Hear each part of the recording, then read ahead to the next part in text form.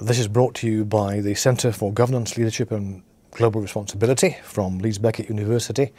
And this series of videos uh, is all about the nature of leadership.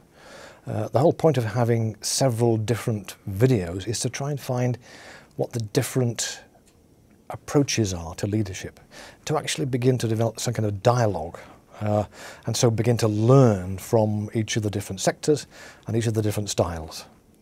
You'll see how leadership uh, can be worked out in practice because we'll both be having academics but also key practitioners in their areas. So today we're here with Jonathan uh, Sanderson from Con. Uh, we've met a few times. We had opportunity to talk.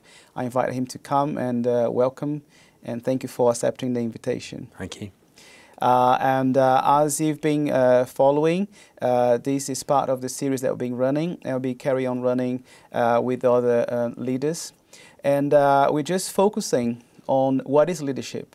And we asked these guests to bring more about their own experience and or their own understanding of what is leadership and or governance or, or how leaders can shape the business, society, and the world we live in. So, Jonathan, I would like to ask you to talk to our audience a little bit about um, your relationship with us and the university, and how it started. Yeah, okay. So, um, so yeah, so our, our, relationship started when, when I contacted the university. So I, I, always wanted to be able to be in a position where I could come back mm -hmm. and help the university. Um, so um, so yeah, so I attended university here from 2003 to 2006. Mm -hmm. I worked for the um, Leeds Beckett job shop and um, at that time Leeds Metropolitan. At the, at, at the time Leeds Metropolitan yeah. University. Yeah. Um, so yeah, I worked for the uh, the job shop, and okay. um, I I got my first graduate position from the from the Leeds Met job shop, mm -hmm. and um, so I start I started off um, in a recruitment role for uh, for a large um, global IT recruitment company. Okay.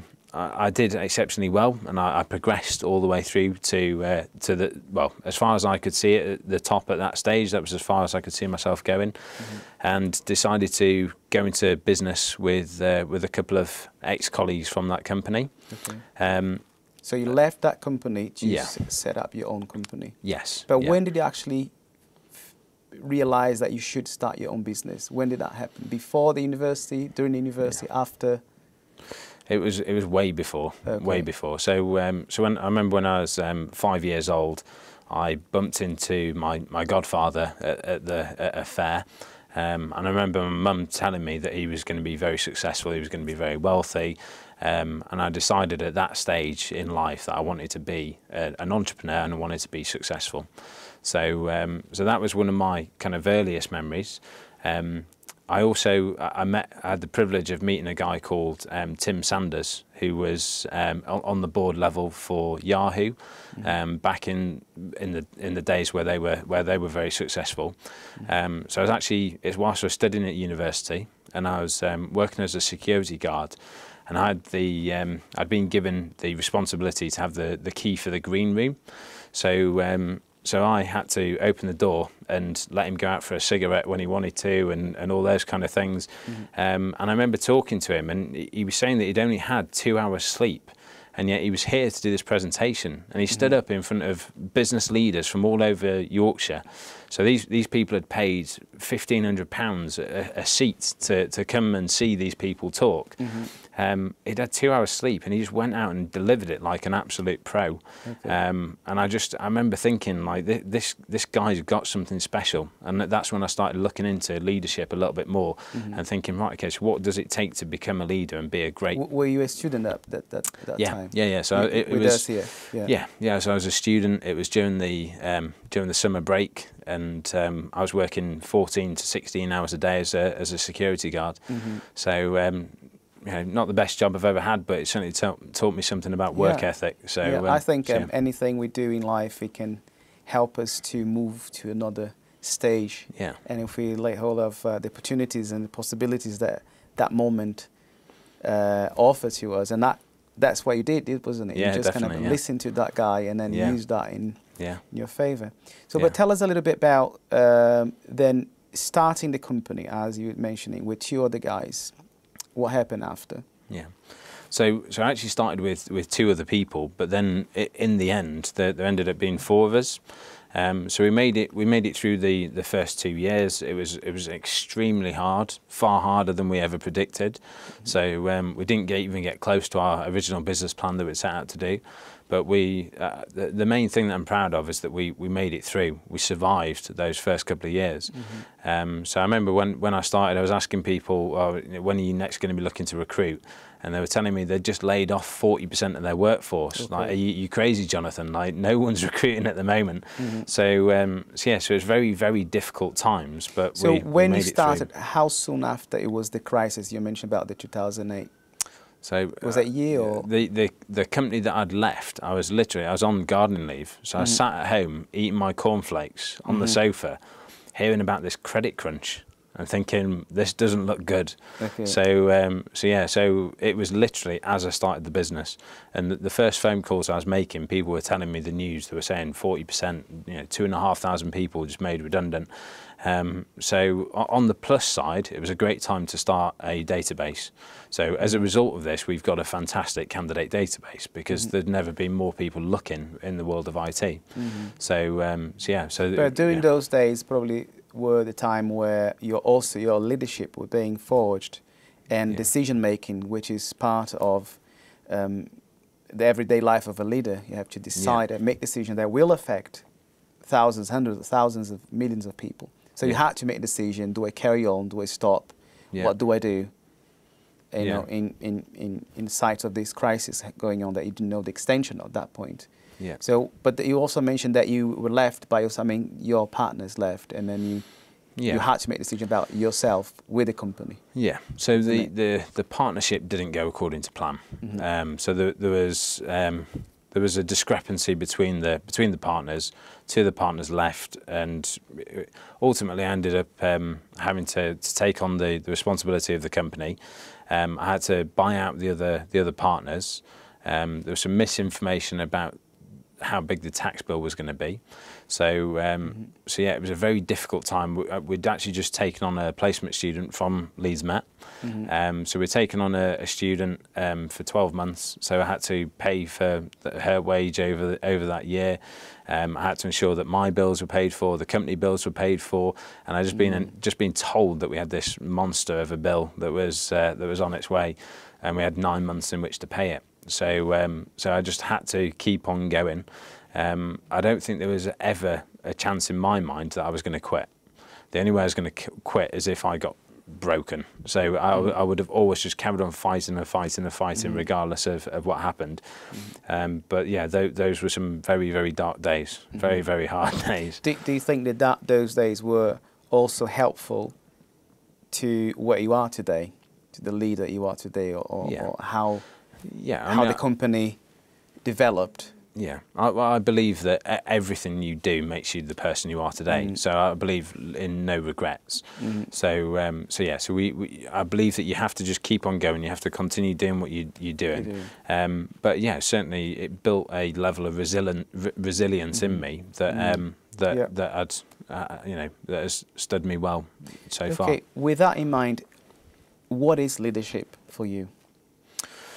Um, so leadership is instilling the the values, the um, the vision and the mission, um, and in, ensuring that everybody in the company understands them and believes in them. Mm. So you need everyone within the organisation to know exactly what they are and what it means to them. Um, so if you can get people to believe those, then that's that's the mm. difference between kind of leadership and management. Yeah. Um, so management is getting people to do their day-to-day job, just getting them to do what they need to do to perform the role.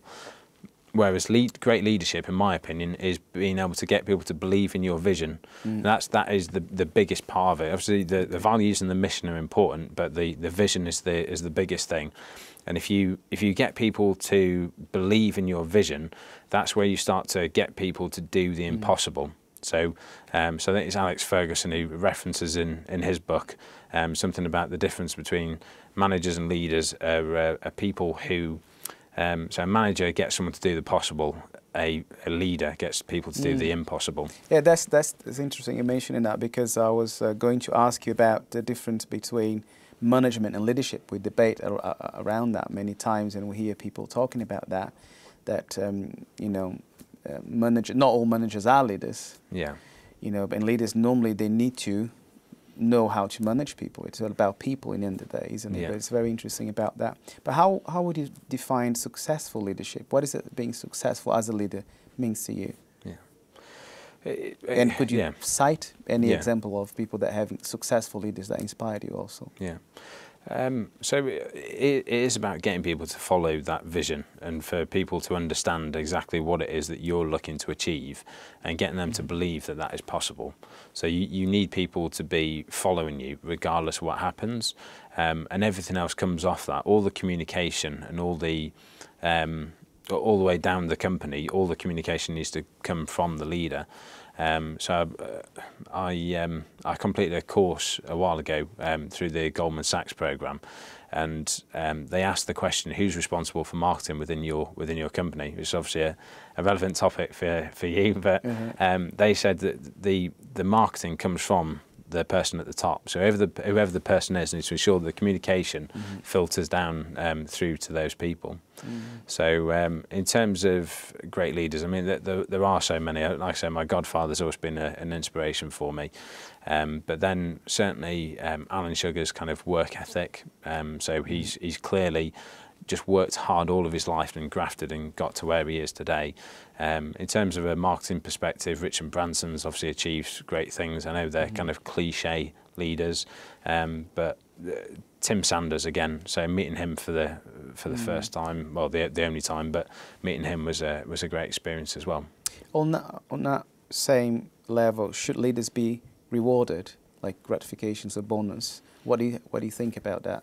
Yeah, I, I I believe that um, that all high performing organisations, people aren't treated equally. Those people that achieve a lot receive a lot. So they're the people that, that make it to the top. They're the people who, um, so they get rewarded through promotions, but certainly in terms of bonuses and those kind of things, I believe that leaders should be rewarded exactly the same as all other people should be within the business.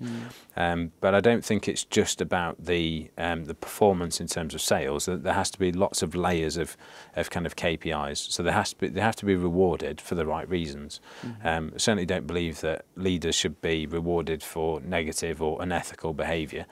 Um, but I do believe that leaders should be rewarded for the jobs that they do. The better they do, the more they should be rewarded. Okay, that's interesting. Question is uh, now we're living, uh, we're going through serious moment of transition, changes within leadership. We're seeing so many scandals, so many companies um, um, going bust, and then people coming, the media um, reporting on, on, on different leaders across the world. You know, Yeah. and we we all like face um, this question: Can we trust leadership? Or and uh, in your own situation, how do you handle crisis within your own company, crisis in leadership? And if you could give an example, Yeah. I mean, first question is, can we trust leaders, leadership still as a whole? Yeah. Well, uh, we ha- we have to, don't we? So if we if we can't if we can't trust leaders, then who who can we trust? Um, I think it's it's always important to kind of question why you're being led into a certain situation. Um, but you know, leaders will naturally inspire people to follow anyway. So it shouldn't be a case of whether they they're trusted or not, because they will just naturally follow those people. Um, in terms of crisis situations, I've I've certainly had quite a lot in my uh, in my time. Um, so I remember in the in the very early days when I'd taken over as sole director, um, I had a potential mutiny on my hands, and um, there was uh, there was a, a chance that um, well it, it felt it felt very uncomfortable for me. My senior team were um, asking me for a, a chat outside, and they you know they weren't happy with certain things that were going on, and it was because of uh, lack of communication from my part. So I believe that that is one of the, the key things to ensure that in a crisis situation the communication is key. So the message needs to be delivered correctly. Um, I believe that one of the other key things is that you remain calm as well, because if you panic, then everyone else will panic. So there needs to be just this absolute air of calm about you within a crisis situation. Um, and no matter how bad a crisis is, there's always something worse in the world. So you, you can't get you can't get too upset. Um, so, so, yeah, so I think that calmness and communication are key within a crisis situation. Thank you. Uh, thank you for, for, for spending some time with us today. I have a last question for you, which we, we normally ask to all of um, um, guests here in the series. I would like to ask you to leave a, message to our students. We, we, we have students within the center, or, or we have PhD students, we have MBA students, postgrad, undergrad, but quite a lot of these students are, see themselves as leaders, or they are developing some sort of leadership skills, and they will be probably running their businesses or running organizations and companies, and um, private sector or third sector, whatever it is, they'll be in positions of leadership. What would be the message that you'd like to leave to our students? I guess just uh, get involved as much as you can with situations that require leadership. So looking at societies, looking at um, things within the university that will naturally provide you with leadership skills. Mm -hmm. um, so certainly my time when I was here at university, I joined something called the Officer Training Corps, um, which so it's you know, it's an army-based uh, society, I guess. Um, but they, they treat you they, they teach you a great deal about leadership. One of the one of the biggest examples of leadership is would they follow you into the trenches and literally army leaders have to uh, do that on a daily basis. Mm um, so the other thing that I'd recommend is go out into the business world and network. Go to networking events. Um, we, we run networking events that students could come along mm. to by, by all means. Um, but get out there and try and do as much as you possibly can to, um, to receive leadership um, advice, experience and actually see it in action. Mm.